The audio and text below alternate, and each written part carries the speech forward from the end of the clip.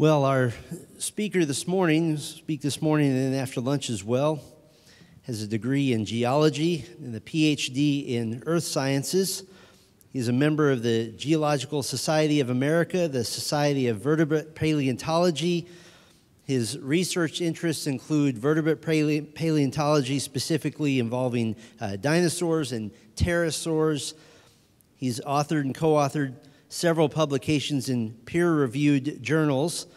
He is currently an assistant professor of biology and geology at the Masters University, just down south in Santa Clarita.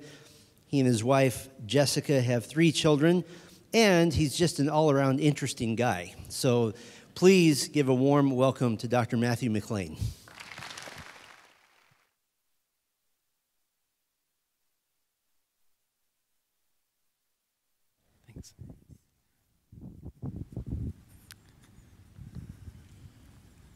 Good morning.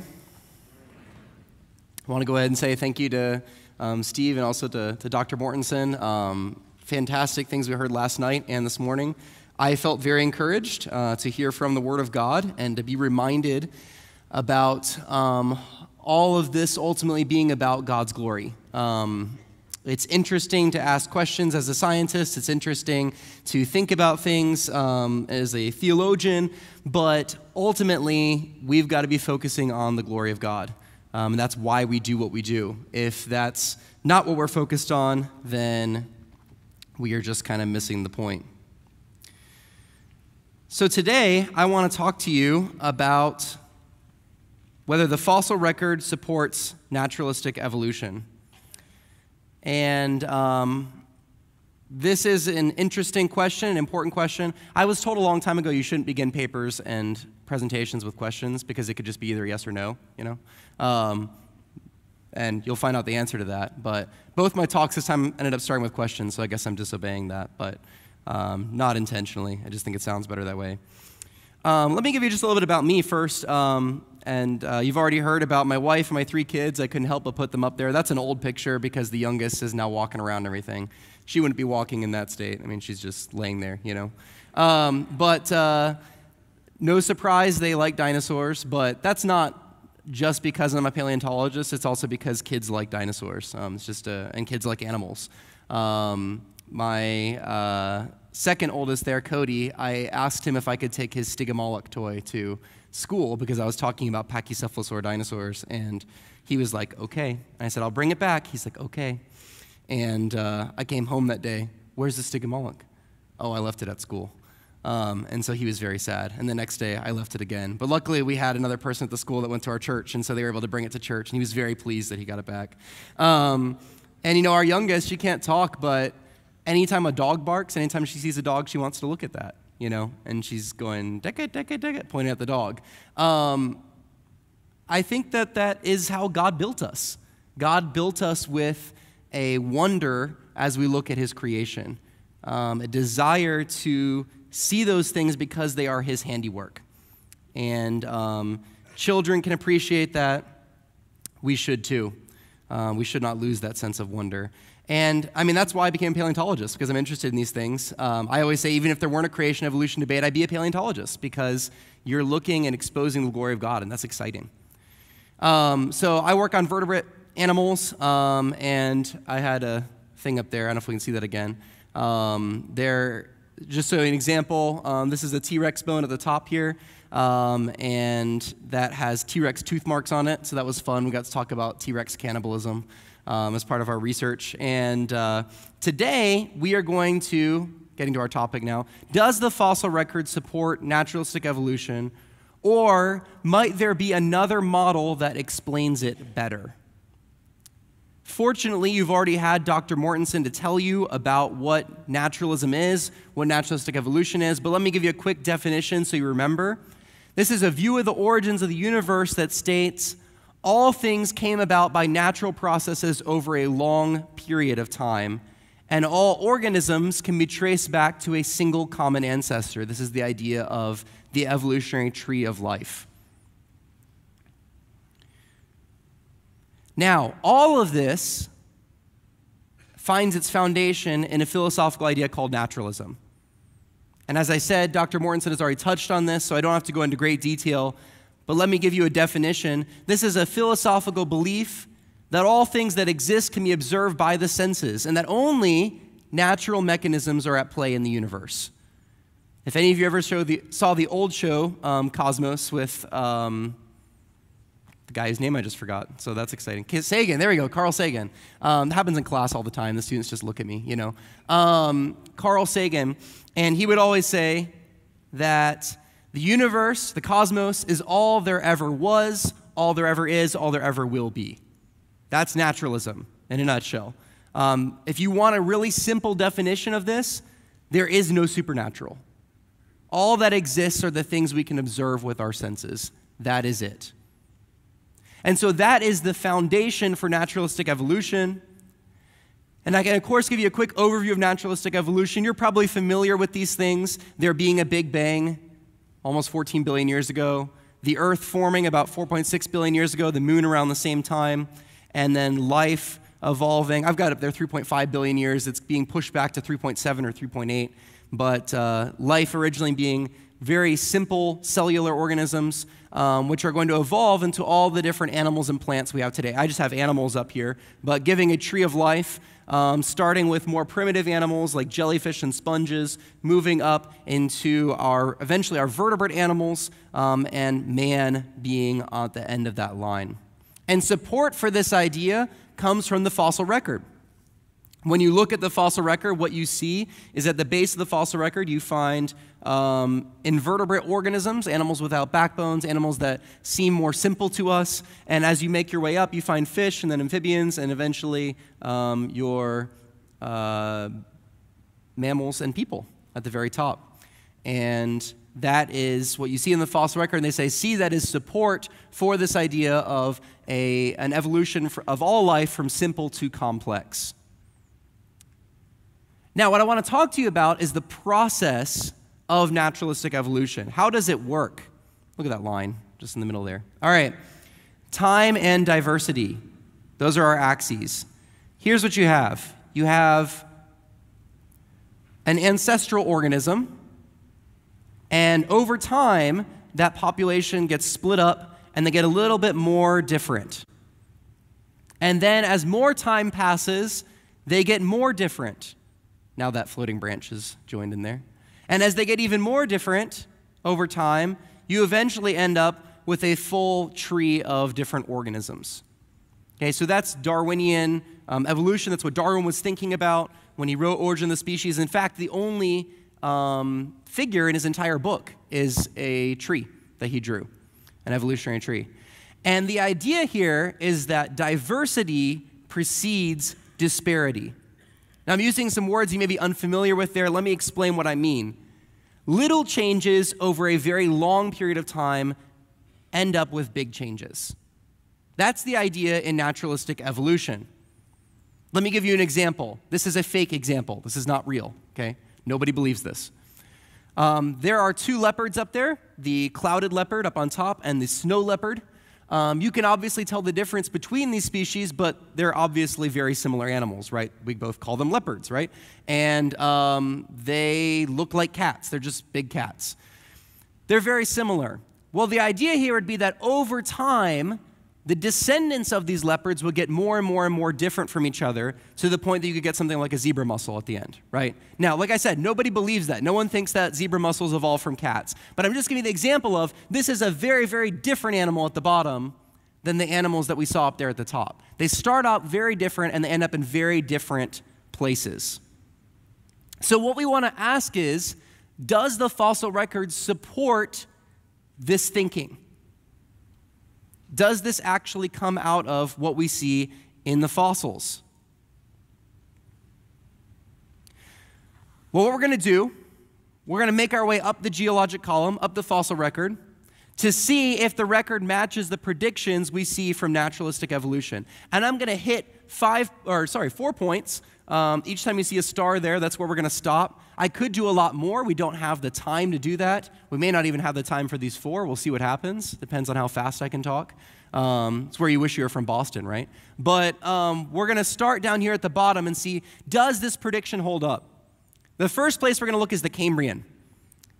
And we're going to look at something called the Cambrian explosion. You may have heard of the Cambrian explosion before. This is the abrupt appearance of almost every phylum of animal in the lower Cambrian. Okay, what are we talking about?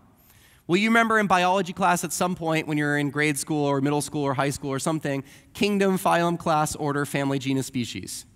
Do you remember that? Um, it's kind of fun watching these TV screens when I talk because I'll be like this, and then I see it like happen later. It's really cool. Um, so the uh, when you start really broad kingdom, right? All the animals are in one kingdom. Phylum is a little bit narrower. than class, than family, order. Um, oh, sorry, order, family, genus, species. See what good biologist I am. Um, and what I want to show you with this chart is something really, really interesting. Now, you look at this chart and you're like, that is nonsense. That's because it's in the journal Nature. And what you have to do in order to get a paper published in Nature is combine all your figures somehow into one figure. Um, and so that's what they did. It's just, you know, you look at that and it's like, I don't even know what I'm looking at. Let me try and help you understand. Okay, along the bottom axis there, the horizontal, this laser pointer doesn't work up there. You see time or the rock layers, whatever you want to think about. So on the far left on the horizontal is the um, far distant past or really, really low rocks, and on the right is the present. As you go up this thing, the vertical scale is your number of taxa. That could be families, genus, species, order, whatever. In this case, we're looking at classes and phyla. So remember, it goes kingdom, phylum. Phylum is the next biggest division in um, the order of organisms. So, um, an example of a phylum would be something like Arthropoda, which is um, everything that has a jointed leg and an exoskeleton. So, insects, arachnids, crustaceans, centipedes, millipedes, trilobites, all those animals, hundreds of thousands, millions of species are in the same phylum. Okay, so this is a really big group. Okay, now, where do phyla first appear in the fossil record? When you see blue up there, what you're seeing is the number of phyla at any given moment in time or moment in the rock record. What you might expect from an evolutionary opinion would be that your number of phyla would steadily increase through time, right? Because things are getting more and more and more and more different. Instead, what you find is right at the Cambrian, which is that green little box there, suddenly almost all the phyla appear just boom, they're there. And as you look through the rest of the rock record, you might only add three more phyla or something like that. That's really weird. That's not what anybody expected. And if you look at the yellow, the yellow is classes, the, organ- the group just below that. So an example of a class would be reptiles or mammals or trilobites. Um, once again, almost all of our classes that exist ever show up in the Cambrian. There's more that get added in the fossil record than phyla, but still the large majority are there present in the Cambrian. And that is really, really unexpected. So, what is below the Cambrian? Where did these things come from? Well, when you get below the Cambrian, you end up in the Ediacaran. And the Ediacaran, you get these weird things. Here's Dickinsonia. I kind of think of it like a pancake. Um, probably lived like a pancake. I don't know. We don't really know what it did. Um, they kind of just flopped around, and um, people aren't really sure what these creatures are. Um, they're probably animals, at least most of them, but they're unlike anything we see in the rest of the fossil record. So we don't have any ancestors for these Cambrian animals. Well, what kind of things do we find in the Cambrian? We find incredibly complex organisms incredibly diverse, disparate organisms, things that don't look like each other. Things with legs, things with eyes, things with lots of eyes. This is Opabinia. Opabinia has five eyes. I don't know why, but it has five eyes. And it also has a proboscis with a little grabber on the end, a claw machine. That's pretty cool. This animal's about that big. It's like 10 centimeters long. That's the fossil, by the way, in the lower right hand corner.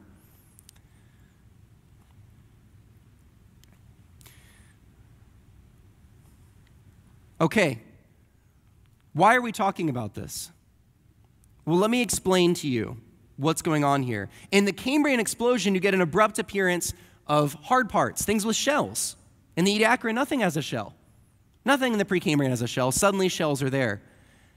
Nothing has eyes, let alone complex eyes in the Precambrian. Suddenly, in the Cambrian, you have all kinds of different types of eyes. Nothing in the Precambrian has incredibly complex body plans, but in the Cambrian, we have tons of different body plans that suddenly show up. And we have complex appendages. Here's one of my favorites. This is Anomalocaris. That's a fossil of it. This is what the animal would look like. By the way, this thing could get up to about a meter long. It's pretty impressive. Pretty terrifying creature. Um, but it had these weird grabber things on the front, and it had a mouth that looked like a big circle, and it had eye stalks, and it was an incredibly interesting, beautiful creature, and nothing like it is found in the layers below. So, how does the naturalistic evolutionist explanation um, deal with this, right? Because what you expect to see at the bottom of the fossil record is a tree. But the Cambrian explosion is like if we just took off the whole bottom of the tree and suddenly all we had left were branches. That's what we see in the Cambrian. And then in the evolutionary model, we try and hypothesize about what those ancestors would be. But there aren't fossils for those things. There's nothing there. I mean, there's things there, but they're not the things you're looking for. So, how do evolutionists deal with this lack of fossil ancestors? Well, some argue that the evolution of this event was so abrupt, no fossils are left behind. Other people say, well, the ancestors were soft bodied, so they wouldn't have left fossils behind. Only things with hard parts leave fossils. Well, that statement has some issues because every fossil we have in the Precambrian is soft bodied. And we have tons of them. They're finding new Precambrian fossils all the time. They all have soft bodies, and none of them look like anything in the Cambrian. So that's not a good solution to that problem. Now, if the Cambrian explosion were just a one off thing, right? If this were just like the weird fluke in the fossil record, maybe you could give them some grace and say, okay, well, this is a weird spot, but everything else will fit. Well, let's see. Let's make our way up in the Paleozoic to the Carboniferous. In the Carboniferous, we have something called Romer's Gap. This is a 14 million year gap in the lower Carboniferous where there are almost no tetrapods, four legged animal fossils at all. So you can see, and you're in the Devonian, you got a few tetrapods, and then there's this gap where you find almost nothing at all. And what's on top of the gap? Tons of different animals, drastically different body plans of amphibians. Let me explain kind of the setup here. Okay? When you are in the Devonian, this is when tetrapods are thought to first evolve from fish. So you have animals like Tiktaalik here, which are the transitional form between fish and your four legged animals. And when we get into our four legged animals, you have things like Acanthostega here, or Ichthyostega. And here are their limbs. Does anything strike you as odd? Maybe not. Maybe you don't spend enough time looking at bones. Strikes me as very odd because this guy's got eight fingers and eight toes on each foot or hand, if you want to call it a hand. And Ichthyostega, we don't have the hands for it, but the feet have seven toes on them. That is really weird. Now, what are these evolving from, supposedly? There's the fin of uh, Tiktaalik. That's the transitional form for the arm and you're not seeing any digits there. But I don't want to talk about that, even though that's interesting. What I want to talk about is well, what are things like after the gap? Here's after the gap. There's Crassigyrinus. They like to call this thing the tadpole from hell, two meters long, it's about six feet. It's pretty terrifying. Mouth, chomp, chomp. Okay. You got Whatcheeria. Oh, no, sorry, it's Pederpes. He's a Whatcheeriid. Um, and you've got legless tetrapods. So something that looks like a snake, but it's actually an amphibian. It's called an aistopod. That's what's after the gap. Let me tell you something. These things look nothing like the things we just saw. They are drastically different, and notice how different they all are from each other. Vastly different body plans. Now, they have started to find fossils in Romer's Gap. Just the last few years in Scotland, they've been digging up and they're finding little bits and pieces. But do you know what they're finding? They're not finding animals that are transitional from our Devonian animals into our Carboniferous animals. They're finding our Carboniferous animals and they're finding our Devonian animals. That's what they're finding. The animals from below and the animals from above, they find them there. They're not finding the animals that link these. They're nowhere to be found. Well, let's go up the Paleozoic a little bit higher. Let's go to the Permian. Let's talk about our non mammalian synapsids. What? These are your mammal like reptiles. This is what we're going to spend the afternoon talking about, early afternoon. I'm excited about that. I've been very excited about talking about this. Why are they laughing? Okay. All right. So, when you look at your non mammalian synapsids, there are two basic groups. You have your pelycosaurs, like Dimetrodon, and your therapsids. These are the animals that you are supposedly evolving from. Okay, and that's what we'll, like I said, we'll talk about in the afternoon. I brought a friend with me from Masters. You say you bring a friend, you're talking about somebody you can talk to. Thought about doing ventriloquy for a while. I have so many of these skulls in my office, you know. Um, this is Dimetrodon. This is the skull of Dimetrodon. This is a big animal. This thing could get 12 to 15 feet long. Look at the teeth on that. That is clearly a predator. Um, there are lots of other animal bones from its deposits with Dimetrodon tooth marks on them, including possibly Dimetrodon bones with Dimetrodon tooth marks on them. It's a pretty crazy world. Um, and this is thought to be a very, very distant relative of yours um, on the line leading to mammals. Okay, I just wanted to show you that because how often do you get to pick up a Dimetrodon skull in a church? Okay, that's not the real skull, but it's a cast. I don't have a real, I wouldn't bring the real skull right here. And look at that, you know. Um, now, when you look at the fossil record of these things, what you see are two different branching things. There we go. Your pelycosaurs are on the left there, your, ther- your therapsids are on the right. Now, what happens if we remove the transitional, hypothesized transitions between these groups, right? What if we just show the actual fossil records of these groups? That's what you see basically two different faunas preserved at two different horizons in the rock record. A little bit of overlap, but most of them just kind of start without showing um, ancestry between them. We'll come back to that in the afternoon. Now, what if we jump all the way up to the Cenozoic? I wanted to go through the Mesozoic, we don't have time to go through Mesozoic. So much to talk about there. I want to go to right after the dinosaurs go extinct. We haven't even talked about dinosaurs, just skip them. You know what? They get enough attention. There's some movie or something. Okay. Let's talk about mammals, right? When you get above where the dinosaurs stop showing up in the fossil record and what's called the Paleogene, so your last dinosaurs in the Cretaceous, once you get to the Paleogene, suddenly tons of mammal groups show up. And this has regularly been compared to the Cambrian explosion, an explosion of mammal groups all pretty much every order of mammals that exist today, you can find an example of it in the Paleocene or the Eocene. Just suddenly there. And if that weren't weird enough, guess what? Birds do the same thing. Once you get above that layer, suddenly there's tons of birds all over the place. And you know what I found out? Frogs do the same thing.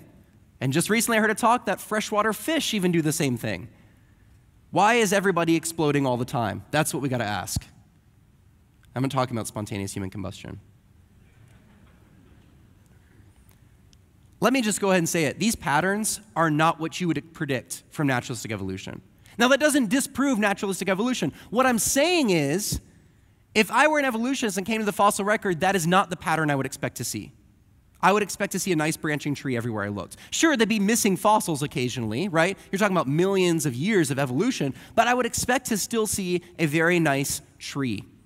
But I don't see it. So, might there be other ways to interpret the fossil record?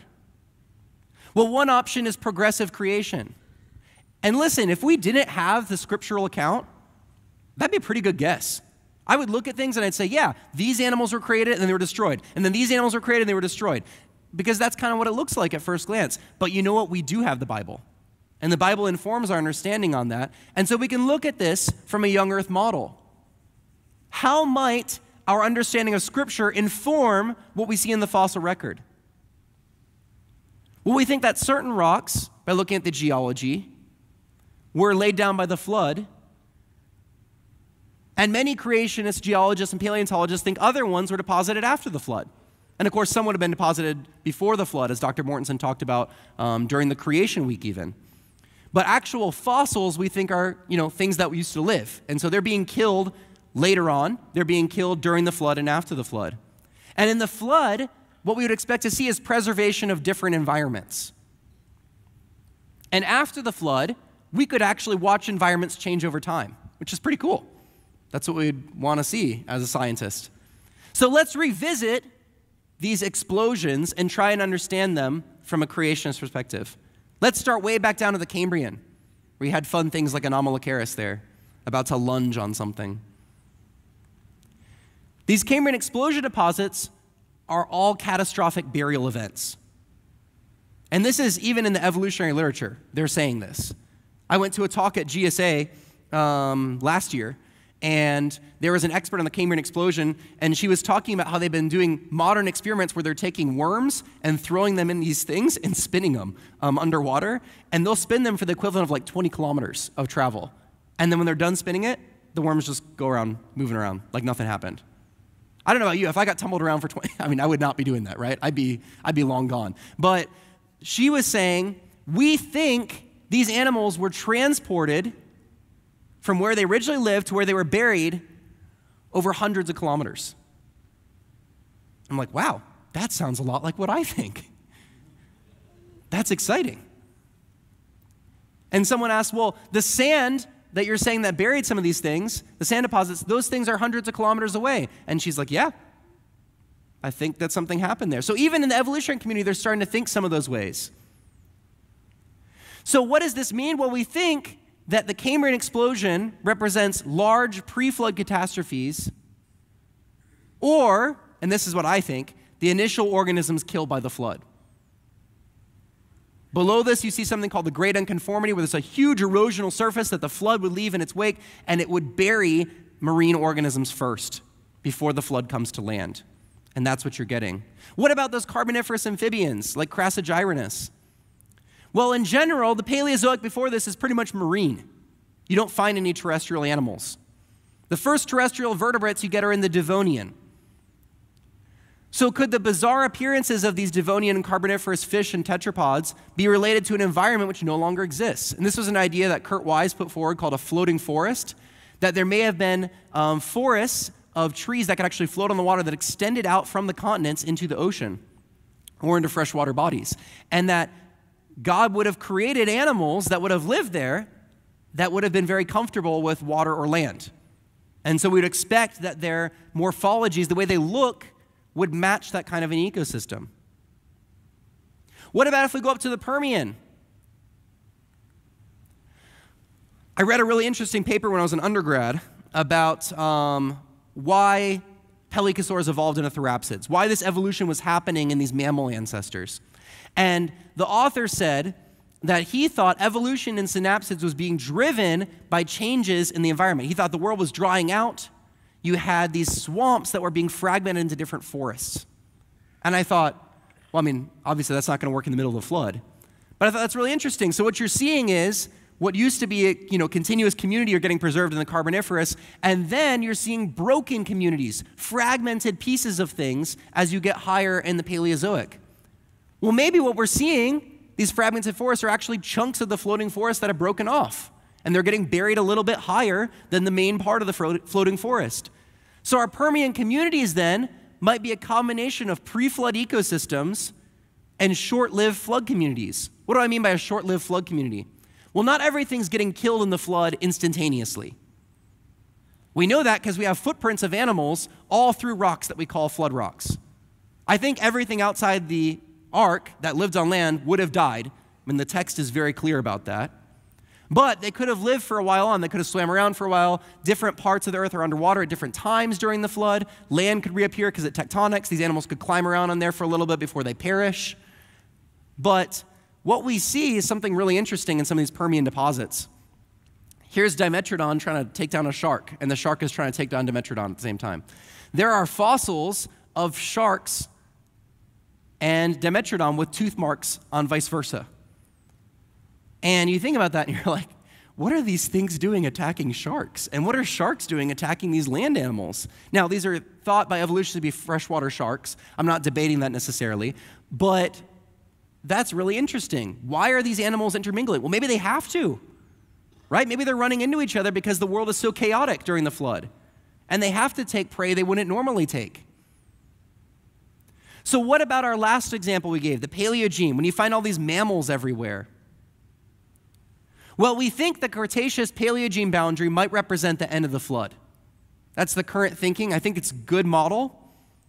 And so, what you would expect after the flood is that animals have to recolonize the earth, and they're going to rapidly diversify within their created kinds. And so, that's why we're seeing the sudden burst of appearance of all these mammal orders, all these bird orders right after that boundary, because these animals are suddenly filling the earth and they're going into environments where they can be preserved as fossils. But that leads us to an interesting question. Why aren't these animals lower in the rocks then? Why are we only finding them after the flood? You know, there aren't any human fossils that we found from flood deposits even from immediately post flood deposits. That's really interesting. So, why is that? Well, let me give you a few possibilities. First of all, I suspect humans lived in communities with animals that are more similar to our animals today. I don't know about you, but as cool as I think this guy is, you know, he wouldn't be a next door neighbor for me, right? I would live pretty far away from this. Um, the pre flood world, I think, was very different than the world we have today. Today, our world is dominated. When you go out to the African savannah, you see big mammals, right? I think the pre flood world, if you had gone out to the equivalent of the African savannah, you would have seen big dinosaurs out there. You'd have seen all kinds of interesting animals as opposed to our typical mammals we see. And so maybe humans, birds, mammals lived in these restricted locations that had bad preservation potential. Here's something else to think about it's actually very difficult to become a fossil. Did you know that? I think it's very likely that there were tons of animals, people, plants that lived on, in the pre flood world that didn't become fossils.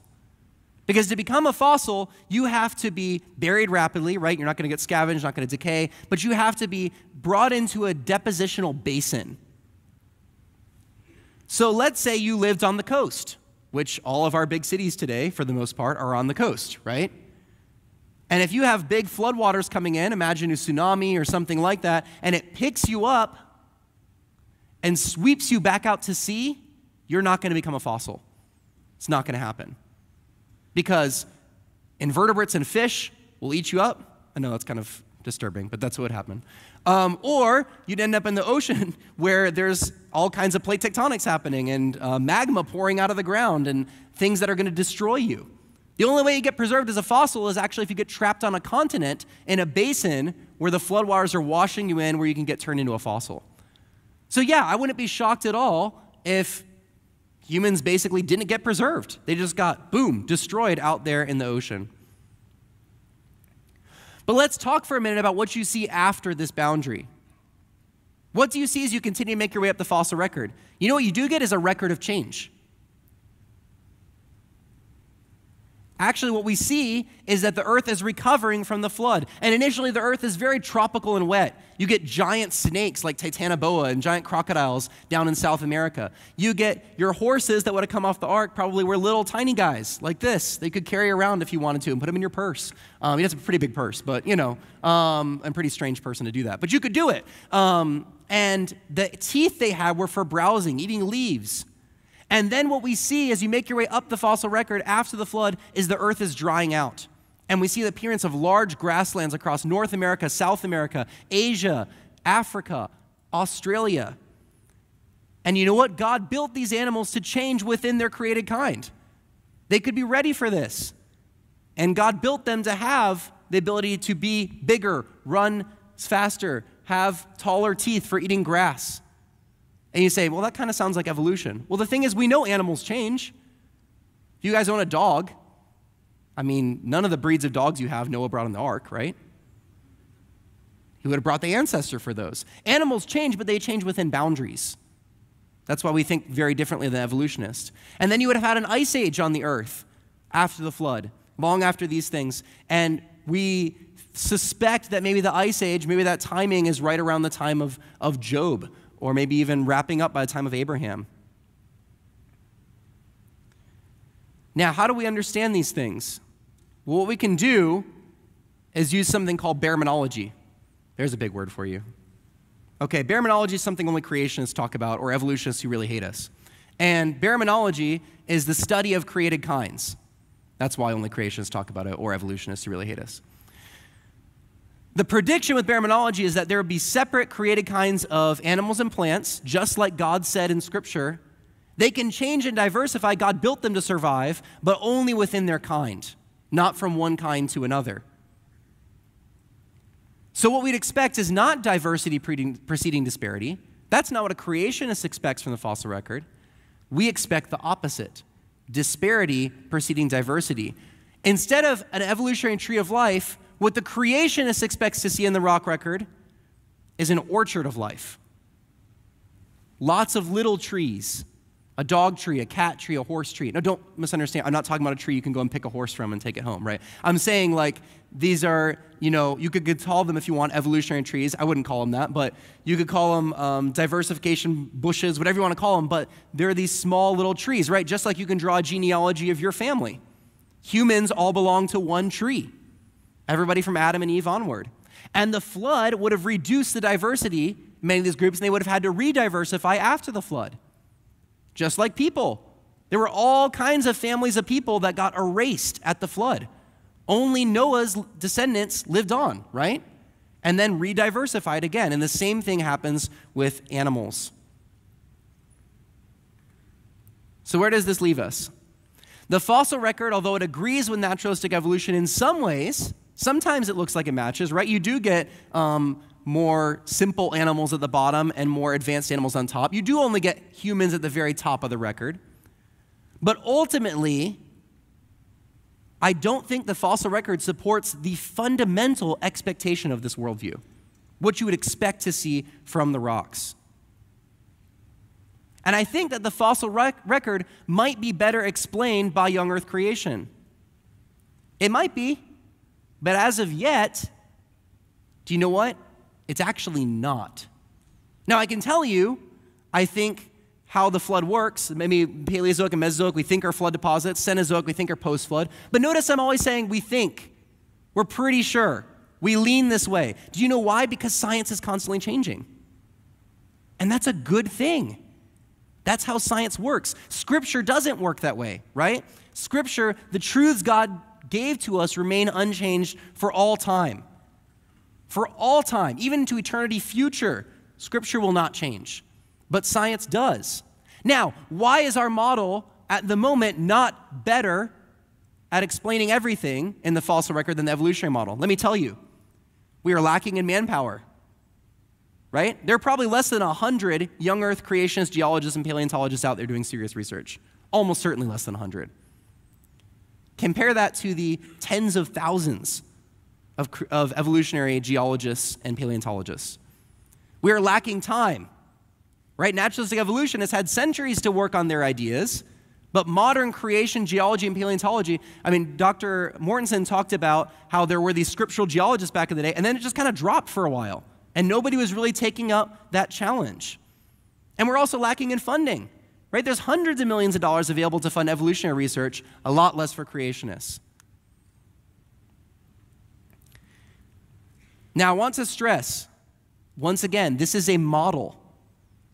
As I said, Scripture is absolute. It's the unchanging Word of God we can depend on to never fail, but science isn't like that. It keeps changing, it keeps morphing over time. And you know what? If some of these things I told you, it turns out, oh, actually, part of the Mesozoic is, you know, post-flood, or part of the Paleozoic is pre-flood or something. That's okay. That's not changing the Bible. It's just changing our scientific understanding of the way things work. And that's fine because that means our understanding is growing and changing. To be a good creationist scientist means that we hold fast to Scripture as our foundation, and then we explore the wild unknown, seeking to glorify God and enlighten ourselves with every discovery. And that's exciting. And we're going to talk more about that after lunch. Before we go to lunch, I just want to say one more thing. I totally agree with Dr. Mortenson about the state of Christian education higher education. Um, most, even evangelical schools out there, have totally compromised on Genesis. And it's very, very sad. Now, I'm happy to tell you, Master's University is not one of those. There are some, like Master's University, that have said, no, we think that Scripture is correct here and we're going to hold to that. And so I encourage you to go check out our booths. I've actually got the little armband right here for Master's University representing, you know. Um, go and check it out. After lunch, go and see what we're all about. I think you'll be very pleased to learn um, how we're trying to train people, train Christians for the future, depending on every part of the Word of God. Let's pray. Lord, I thank you so much for this opportunity you've given us to look at your creation, to think about the past, to recognize that even though we don't know everything, the essential things are the things you've given to us in your word. And your word is the foundation that we need for life and godliness. Thank you for your word. Thank you for creating the things around us that we can wonder at, we can be amazed at, that show your glory. Give us good conversation. Allow us to glorify you in everything we do. And it's in your name pray. Amen.